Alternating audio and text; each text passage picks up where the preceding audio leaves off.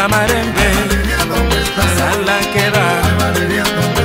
Adiós Valeria, y que te vaya bien.